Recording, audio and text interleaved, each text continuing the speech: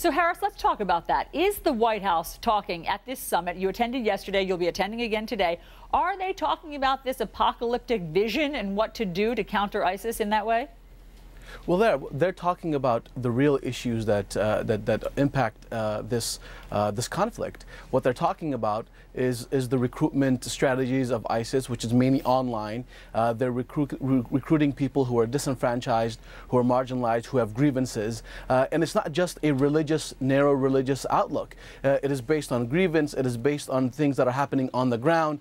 and they seem that they have the answer to a lot of young people around the world who are looking to find identity, who might be going through identity crises. So they're looking at it comprehensively. And I think it's important that we don't narrow it down and say there's only one factor that's impacting the recruitment of ISIS. ISIS is not, is not a religious organization per se. It uses religion to justify their criminal acts, but at the end of the day, they are trying to feed on the identity crises and grievances that a lot of people feel, whether in Europe or in the Middle East and North Africa. Haris, you know this White House summit has been criticized for being too vague, too broad, too hastily put together. Having been there yesterday, do you feel as though substantive things are coming out of it?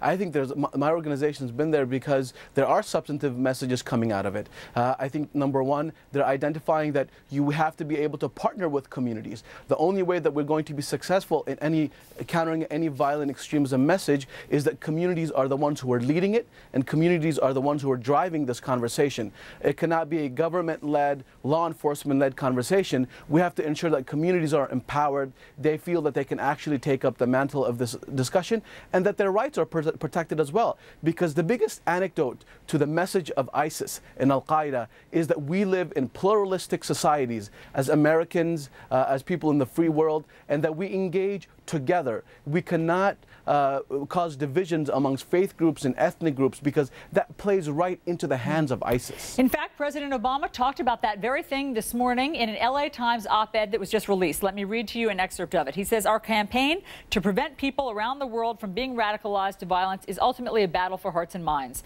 We know that military force alone cannot solve this problem, nor can we simply take out terrorists who kill innocent civilians. The world must continue to lift up the voices of Muslim clerics and scholars who teach the true peaceful nature of Islam.